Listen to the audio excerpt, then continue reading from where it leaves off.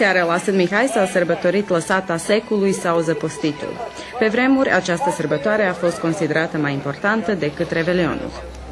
Este începutul unei școli duhovnicești, începutul unui urcuș duhovnicesc, începutul unei, unei etape din viața noastră în care ar trebui ca să ne pocăim mai mult, să, dacă în restul perioadei ne-am pocăit de unele fapte, adică ne-a, ne părut rău de unele fapte pe care le-am săvârșit, să ne, să ne pară mai mult rău, să ne rugăm mai mult, să postim mai mult. Bună seara! Bună seara, străiești. Ce faceți voi aici? Păi ia că-ți facem la copiii ăștia câți boboloși. Este un obicei de zăpostit? Da, așa au fost înainte, pe vremea lui părinții noștri, pe... de când eu știu. Eu cred că aici, dintre ei, mi s mai bătrân, dintre copiii ăștia.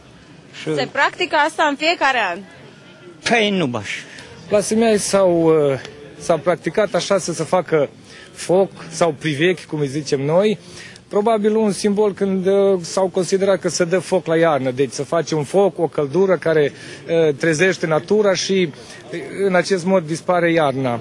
Postul Paștelui începe astăzi și se încheie pe 5 mai. Lăsata secolului de Paște păstrează acte rituale specifice unui început de an agrar celebrat de echinocțiul de primăvară.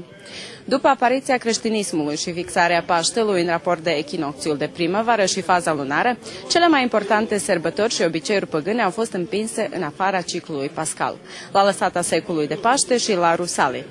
De la Sân Mihai pentru Telejurnal.